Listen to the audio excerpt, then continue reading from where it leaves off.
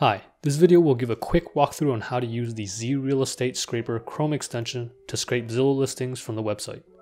This will go through the premium functionality of the app and will allow you to save the data directly to a Google Sheets file.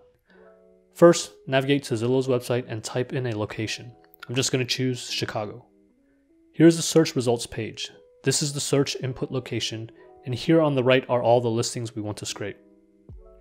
I'm going to open up the Z Real Estate Scraper extension at the top right and click on the Scrape button.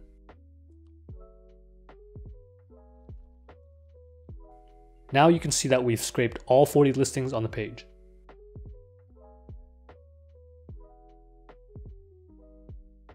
To get the next page's listings, you have to open up the page in a new tab. This is by design for this extension. Right click on the next page and select Open Link in a new tab.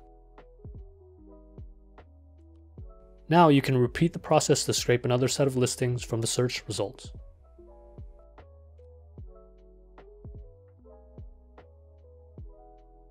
And just like that, the next page's listings have been added to the previously scraped results.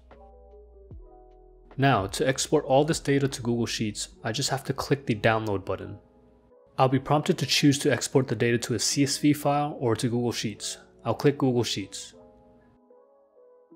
If this is my first time exporting to Google Sheets, I have to authorize the extension to do so. The extension will never delete or read from my Google Sheets, it would only create and write to them. Once I've authorized the extension, I can close this page,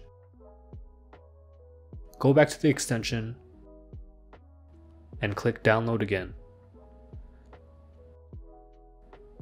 It only takes a few seconds and now there's a link for me to go to to that newly created file.